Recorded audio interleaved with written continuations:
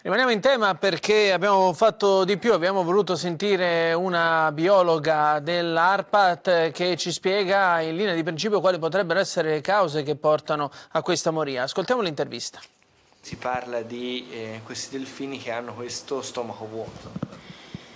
Sì, questi sono risultati proprio nostri perché il nostro settore mare che analizza i contenuti stomacali dei delfini e questi stomaci di, di questi turziopi sono praticamente vuoti. Questo significa che sono animali che non stanno bene, molto probabilmente sono diversi giorni che non si alimentano perché non si sono nutriti negli ultimi, negli ultimi giorni. Ecco, invece il turziope di solito è un animale, siccome è un animale costiero, un animale che si adatta a mangiare tante cose diverse, segue pescherecce, mangia scarto del, del pescatore, va a rubare nella rete, di solito a noi che facciamo un po' questo tipo di, di, analisi della dieta di questi animali da tanto tempo, per noi lo stomaco di un torziope sano che sta bene è uno stomaco pieno, pieno di tante cose, gronchi, gronchi naselli, triglie, anche pezzi interi di, di, pasti, quindi recenti, fatti qualche ora prima. Se il morbillo lo, lo escludiamo può essere ancora quello?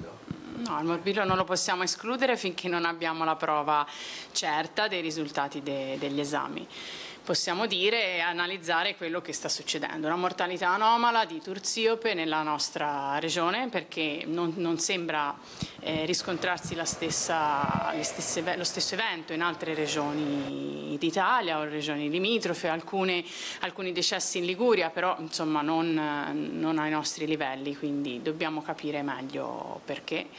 Quindi per il momento non escludiamo niente e continuiamo a raccogliere prove.